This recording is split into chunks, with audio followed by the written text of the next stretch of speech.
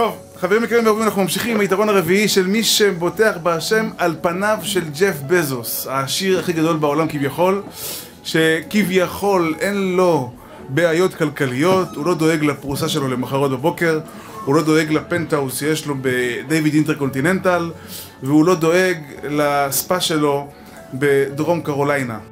אומר רבנו בכי שהאומן האלכימיה הוא יכול לייצר מכל דבר זהב. ולכן הוא אדם פשוט מאוד בלי פחד כלכלי. אבל הוא אומר, מה היתרון שלך, אדם שפותח בהשם עליו?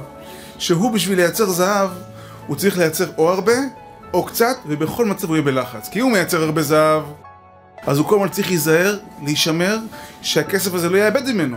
אז הוא בלחץ. שמא המלכות תיקח את זה ממנו. סבתא, סבתא רבא שלי, קראו לה סבתא זולאי. היא הייתה בבוכרה, ברוסיה. היא הייתה עשירה גדולה מאוד. הייתה מיליונרית, אחת הגדולות שם. מה היא הייתה עוסקת? בתה. צ'וי.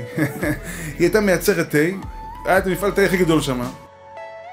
וכשיש הרבה מזומנים, זה שחור, השתבח שמו לעד, היא הייתה מחביאה מתחת לבלטות, מתחת לכיסוי ראש, מתחת לזה, הייתה מכניסה בכל מקום שאפשר, דוחפת שם כסף.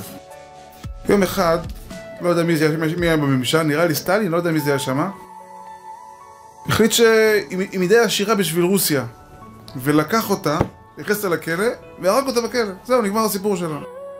יש לו מלא מלא כסף!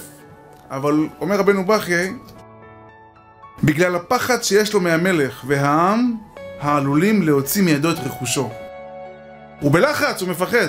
אבל אדם שבוטח בהשם רבנו בכי, אין לו פחד, הוא לא צריך לרדוף אחרי כסף. יציעו לו, בוא עבודה 50 אלף דולר, הוא לא מתפתה, הוא עובד את השם.